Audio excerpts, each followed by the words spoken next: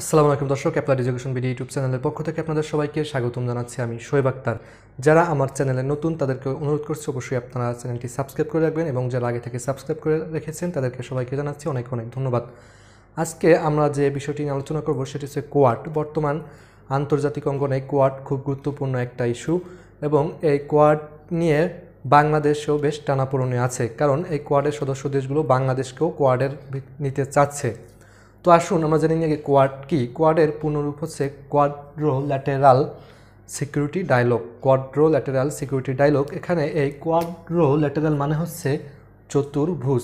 তার মানে এই কোয়াড্রো ল্যাটেরাল মানে চতুর্ভুজ মানে হচ্ছে এই কোয়াডের সদস্য দেশ হচ্ছে চারটি। কয়টি? সদস্য দেশ চারটি। চারটি দেশের নাম কি কি? চারটি দেশ হচ্ছে জাপান, যুক্তরাষ্ট্র, অস্ট্রেলিয়া এবং ইন্ডিয়া। জাপান, যুক্তরাষ্ট্র, অস্ট্রেলিয়া জাপান, যুক্তরাষ্ট্র, অস্ট্রেলিয়া এবং ইন্ডিয়া, ভারত। তো এই কোয়াডের যাত্রা কবে শুরু হয় সেটা যে দেখবেন যা কোয়াডের যাত্রা শুরু দু সালে তৎকালীন জাপানের প্রেসিডেন্ট শিনজো অ্যাবের নেতৃত্বে। কার নেতৃত্বে? শিনজো অ্যাবের নেতৃত্বে যুক্তরাষ্ট্র, জাপান অস্ট্রেলিয়া এবং ইন্ডিয়া এই চারটি দেশ নিয়ে তৈরি হয় কোয়াড। এবং দু হাজার সাত সালে এটি যাত্রা শুরু করলেও এটি মূলত আলোচনায় আসে দু সালে। কত সালে আলোচনায় আসে? দু সালে। এই কোয়াড গঠনের সময় বলা হয়েছিল মূলত যে এটা প্রত্যেকটা জোট গঠনের তো একটা উদ্দেশ্য থাকে, তো এই জোট গঠনের সময় গঠনের সময় সদস্য দেশগুলো তাদের উদ্দেশ্য বলেছিল যে প্রশান্ত মহাসাগরে যাতে নৌ চলাচলটা নির্বিঘ্নে হয়, সেজন্যই মূলত তারা এই জোটটা করেছে। কিন্তু আসলে এই জোটের মূল উদ্দেশ্য ছিল কিন্তু ভিন্ন। এই জোটের উদ্দেশ্য হচ্ছে আপনার দক্ষিণ এশিয়া বা এশিয়া অঞ্চলে চীনের যে একটা আধিপত্য, এটা রুখে দেওয়া। অর্থাৎ এরা বর্তমানে যেটা করে, সেটা হচ্ছে দক্ষিণ চীন সাগরে চীনের আধিপত্য রুখে দেওয়াটাই এতে- এদের প্রধান লক্ষ্য হয়ে দাঁড়িয়েছে বর্তমানে। আর দক্ষিণ এশিয়ায় তাদের যে কোয়াড, চীনের আধিপত্য রুখতে এবং তাদের নিজেদের যে একটা শক্তি সামর্থ্য, সেটার একটা প্রমাণ দিতে দক্ষিণ এশিয়ায়, তারা কিন্তু বাংলাদেশকেও তাদের সাথে নিতে চাচ্ছে। কারণ হচ্ছে আপনার বঙ্গোপসাগরটায়, বঙ্গোপসাগরটা তারা ব্যবহার করতে চাচ্ছে।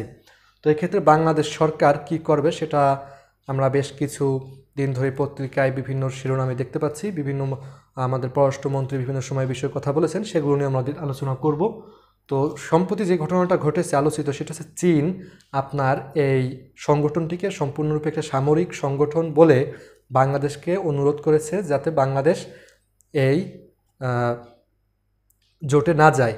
এবং চীনের যে রাষ্ট্রদূত, তিনিও সতর্ক করে দিয়েছেন যাতে বাংলাদেশ, তিনি বলেছেন যে বাংলাদেশ যদি চীনের সরি কোয়াডের সাথে যায়, তাহলে কিন্তু বাংলাদেশ চীনের সম্পর্ক অবনতি ঘটার সম্ভাবনা থাকবে। এরই প্রেক্ষিতে সাংবাদিকদের প্রশ্ন জবাবে আমাদের পররাষ্ট্রমন্ত্রী যেটা বলেছেন, তার কথাই আমরা আসলে বুঝতে পারব যে বাংলাদেশ কোন দিকে যাবে, কোয়াডে যাবে, কি যাবে না। তিনি যেটা বলেছেন, খুবই গুরুত্বপূর্ণ কথা, তিনি বলেছেন যে বাংলাদেশ সব ধরনের অবকাঠামোগত জোটে আছে, কোনো ধরনের সামরিক জোটে বাংলাদেশ নেই। ক্লিয়ার কথা যে সব ধরনের অবকাঠামো উন্নয়নের জন্য যত ধরনের জোট আছে, সব, সবগুলোতে বাংলাদেশ আছে, কিন্তু কোনো ধরনের সামরিক জোটে বাংলাদেশ নেই। এবং তিনি আরও উল্লেখ করেছিলেন যে বাংলাদেশ, অর্থাৎ বাংলাদেশের বঙ্গোপসাগর কে বাংলাদেশ কোনো ধরনের কোনো বৈশ্বিক জোটের শক্তি প্রদর্শনের স্থান করে দিতে চায় না। অর্থাৎ বঙ্গোপসাগর যেন কেউ শক্তি প্রদর্শনের স্থান হিসেবে ব্যবহার করতে না পারে সে বিষয়ে বাংলাদেশ সচেতন বলে তিনি জানিয়েছেন। তো এখন কোয়াড নিজেদের দাবি করে যে তারা কোনো সামরিক সংগঠন নয়। তার মানে কিন্তু বাংলাদেশ কোয়াডে যেতে পারে। আবার কথা হচ্ছে যে চীন কিন্তু সরাসরি কোয়াডকে সামরিক সংগঠন বলেই বাংলাদেশকে সতর্ক করে দিয়েছে এবং আমরাও কিন্তু সাম্প্রতিক বিভিন্ন ইস্যুতে কোয়াডের কার্যক্রম দেখে এটা অনেকটা বলতে পারি। এটা কিন্তু সামরিক দিকেই এগোচ্ছে এবং এতদিনই কিন্তু সামরিক সংগঠন হিসেবে এটা আত্মপ্রকাশ করে ফেলতো সরাসরি। যদি না, আপনার অস্ট্রেলিয়া এবং ইন্ডিয়া কিছুটা সংশয় প্রকাশ না করতো যে এটা সামরিক সংগঠন যাওয়া ঠিক হবে কিনা এরকম। তো মূলত এই টুকুই মোটামুটি আমরা কোয়াড নিয়ে জানব। এছাড়া একটা বিষয় সেটা হচ্ছে যে কিছুদিন আগে কিন্তু এই কোয়াডের চারটি সদস্য দেশ ভ্যাকসিন নিয়ে বেশ ভালো একটা ঘোষণা দিয়েছিল। যদিও সম্প্রতি ভ্যাকসিন উৎপাদনের সমস্যার কারণে, এছাড়া ভারতের করোনা পরিস্থিতির অবনতির কারণে তাদের সেই যে ঘোষণাটা ভ্যাকসিন নিয়ে তাদের যে পরিসর বিস্তৃত করার সেটা কিন্তু তারা করতে পারেনি।